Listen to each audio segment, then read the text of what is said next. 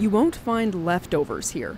Instead, tools for research, dealing with a creeping influenza concern. We have seen this contemporary H5N1 virus uh, been circulating in the world, and now it seems this virus uh, has gained ground in North America. H5N1 has killed or infected more than 7 million birds in Canada since 2021.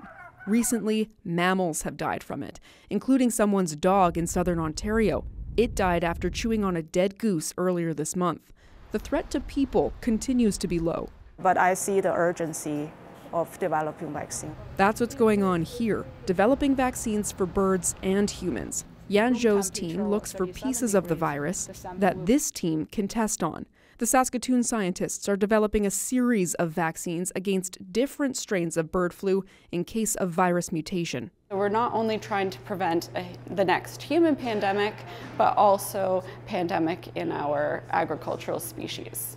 At this point, Alyson Kelvin says Canada's poultry industry is most at risk, which translates into economic worries. When one bird on a farm gets H5N1, the entire population may have to be culled. So the devastation is it's twofold. It's one, the amount of the, the death and destruction that you're confronted with in the barns, and then there's the reality of you got to clean this mess up. Yelmer Wiersma says a vaccine preventing that experience would be great, but the challenge is finding the right combo.